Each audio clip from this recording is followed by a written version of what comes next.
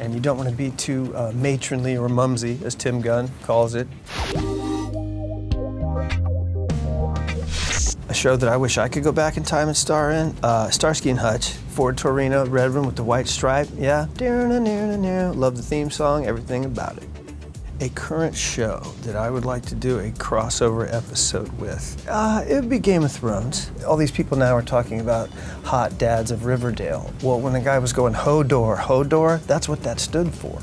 So we started laying this in way back on Game of Thrones, and it's just now coming around and paying off. That's how smart Roberto is. People would be surprised that I, I like Project Runway. My daughter and I got into watching it, and um, you know, it's time with my daughter, so I've come to equate it to that. I love Tim Gunn. Tim comes in, he tells them all about, you know, their clothes and what they're doing and how to do it. And he's just, I, I love Tim Gunn, yeah.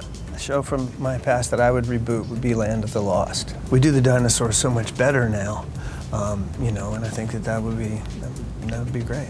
My favorite TV character of all time. I can't pick one. From Ian McShane in Deadwood, Sheldon Cooper um, I, and all kinds of people in between, including Barney Fife. Um, there are so many great characters on television, I just absolutely could not pick one.